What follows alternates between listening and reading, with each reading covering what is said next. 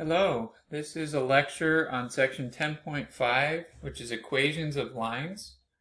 Um, so far we've learned about slope-intercept form, which is y equals mx plus b. But there's two other forms that I want to talk about here that are new, that we haven't talked about. Uh, so point-slope form, this is y minus y1 equals m times a quantity x minus x1. This is actually the equation of a line with slope m passing through a point x1 comma y1. This is the one that we're going to use if they give us a slope and a point, um, and we need to write down the equation of a line. So it's actually very helpful. That's a new one there. And then the last form is standard form. Now standard form is in the form ax plus by equals c. Capital A, B, and C are all going to be numbers. And uh, the idea is to have them not be fractions. So you're going to have to multiply everything through by the LCD so that there's no fractions left over. Standard form is mostly useful because it's a form that doesn't have fractions. Um, whereas slope-intercept form, y equals mx plus b, m can often be a fraction there. And in point slope form, also m can be a fraction. So we're going to be working with point slope form to write down the equation of a line with slope m passing through a point. And then we're going to be uh, writing our answer in ax plus by equals c. So we're going to write answer in standard form. And I think some other books might also call it general form, but I believe ours calls it standard form. Okay? So let's see an example of using the, these two new equations for lines. Okay, so example.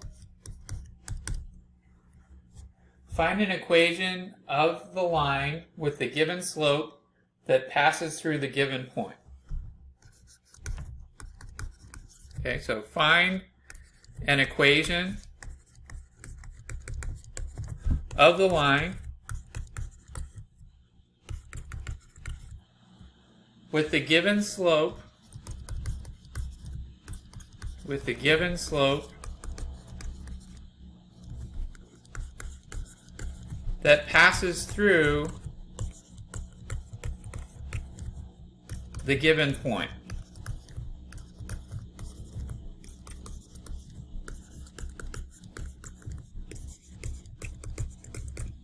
Okay?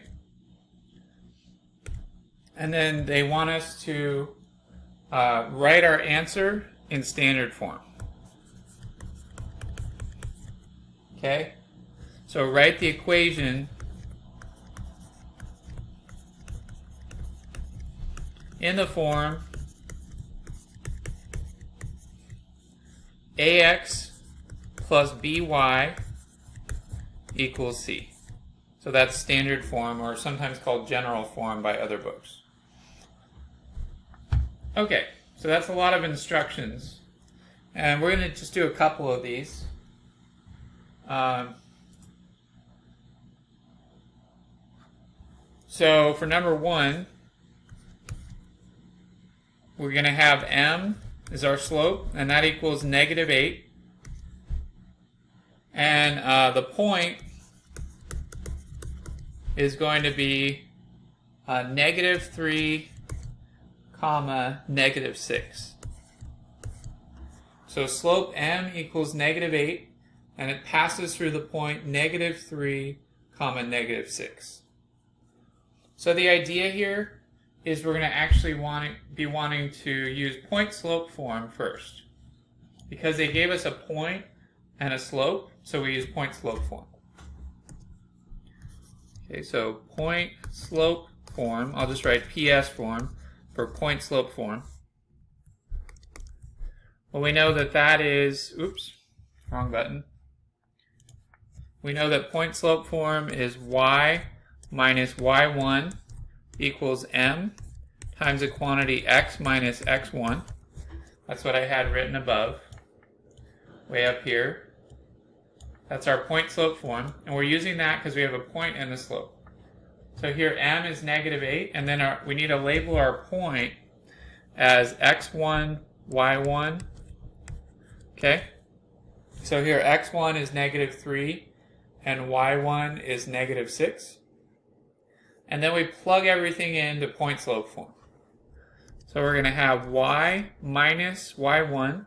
So that's going to be y minus negative 6 equals m, which is negative 8, times the quantity x minus x1. So that's going to be x minus negative 3. So y minus negative 6 equals negative 8 times the quantity x minus negative 3. And we're subtracting, okay? But there's two minuses here and also two minuses over here. So um, those minuses are going to cancel out. So we're actually going to have y plus 6 equals negative 8 times the quantity x plus 3. And on the right side, we're going to go ahead and distribute the negative 8. Okay, so we get y plus 6 equals negative 8x minus 8 times 3 is 24. So we have negative 8x minus 24. Okay? And then from here, um, we want to write our answer in standard form. So we want to write it in the form ax plus by equals c. So to get it in that form, you basically move all the terms involving variables to the left side, and you move all the terms involving just constants to the right side. Okay? So for standard form, to get it in standard form,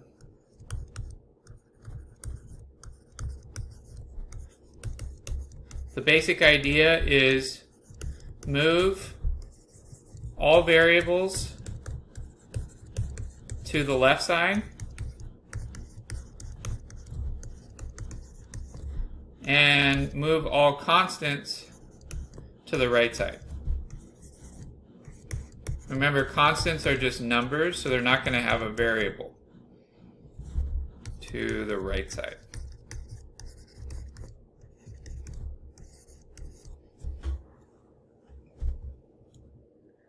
Okay, so like here, we want to move the negative 8x to the left side, and we want to move the positive 6 to the right side. So let me write that in. So we're going to actually add 8x to both sides to get rid of the negative 8x on the right side. And then to get rid of the positive 6 on the left side, we're going to subtract 6 from both sides. And after we do all that, we want it to be in the form ax plus by equals c. So we're going to have 8x on the left side. So we have 8x plus by, well that's just going to be plus y, equals, on the right side, we have negative 24 minus 6, which is negative 30.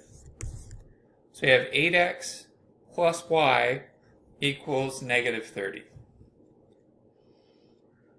All right, and that's in the form ax plus by equals c. So now I'm going to go ahead and box that. That's how you want to write your answer. Okay? So that's a relatively easy one. Um, I'm not saying it's easy, easy, but it's it's hopefully pretty straightforward. Um, now I wanted to do another one that's a bit harder because it has a fraction. So fractions can make the problems a little bit more challenging, um, depending on what numbers you have. All right, so let's see an example. Uh, this is going to be example number two. Has the same instructions. So for number two, the slope m equals a fraction, so it equals 11 over 5. And uh, the point that they give us is 8 comma negative 2. So what makes this more challenging is that we have a fraction here for the slope, 11 over 5. But we still want to label our point as x1, y1. And then we're going to use point slope form. Since we have a, a slope and a point, we use point slope form. So that's y minus y1 equals m times the quantity x minus x1. And then plugging in, uh, y1 we know is negative 2. So we actually have y minus negative 2 equals 11 over 5 times a quantity x minus 8. So y minus negative 2 equals 11 over 5 times the quantity x minus 8. Now this is where it gets a little bit tricky. You might not be sure what to do here because of the fraction. There are different ways of doing this, but probably the easiest way to do it would be to first of all cancel out these minuses. So if we cancel out these minuses here, we get y plus 2. Um, so we have y plus 2 equals 11 over 5 times the quantity x minus 8. So what you want to do is, because you want your answer to be in the form uh, ax plus by equals c, they mean you're not supposed to have any fractions left over. So for standard form, you need to get rid of any fractions. So how do you get rid of this fraction? Well, you multiply both sides by 5. Okay, so that's called clearing the fraction. I'm going to go ahead and multiply both sides by 5. And that's going to get rid of the fraction on the right side. I know it's a little bit strange. And also notice that on the left side, because there's two terms, I actually put parentheses around the y plus 2. So the reason I'm multiplying both sides by 5 is so the 5's cancel on the right side, and that's going to get rid of that fraction. And then on the left side, we can distribute the 5, and on the right side, we can distribute the 11. So we're actually going to be distributing the 11 on the right side because we already got rid of that 5 there. Okay? So after we do the distributing, on the left side we get 5y plus 10. And then on the right side, distributing the 11, we get 11x minus 11 times 8 is 88. So 5y plus 10 equals 11x minus 88. And then remember, we want to get all the variables on the left side, and then we want to get the constants on the right side. So I want to move this 11x to the left side, and I want to move the 10 to the right side. So what I'm going to do is I'm going to subtract 10 from both sides to move the 10 to the right side. And then I'm going to subtract 11x from both sides to move the, the variable to the left side. So on the left side, now what we're going to have is negative 11x plus 5y. And then on the right side, we're going to have negative 88 minus 10, which is actually negative 98. So you should have negative 11x plus 5y equals negative 98. Okay? And then um, they want you to actually have A be positive. That's something that I forgot to mention. So the reason we had to multiply both sides by 5 was to get rid of the fraction. Um, but it's in the form ax plus by plus equals c now, but a needs to be positive. So that's something that I almost forgot to tell you. So a must be positive